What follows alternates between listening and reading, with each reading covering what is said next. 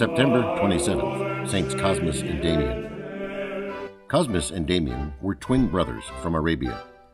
They became renowned physicians who practiced medicine in Syria towards the end of the third century. They never charged for their services. Although many details of their lives remain unknown, they died as martyrs in the persecutions under the Emperor Diocletian. They had three younger brothers who shared in their martyrdom. As early as the 4th century, churches dedicated to them were built in the Holy Land and Egypt. Later, they were venerated in both the eastern and western parts of the empire. In the 6th century, the Emperor Justinian brought their relics to Constantinople.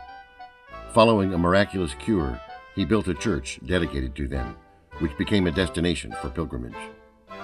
At about the same time, in Rome, Pope Felix IV rededicated the Library of Peace in honor of Saints Cosmas and Damian.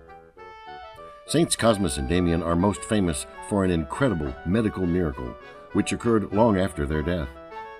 There was an old man who was the caretaker of the church who had cancer in his leg. Saints Cosmas and Damian amputated his leg and then performed the first transplant miraculously. Not only that, they used the leg of a recently deceased black man. This incredible event is depicted in many traditional paintings. Their names are included in the canon of the Mass. They are invoked as the patron saints of physicians, surgeons, and pharmacists, and are sometimes represented with medical emblems. Saints Cosmas and Damian, pray for us.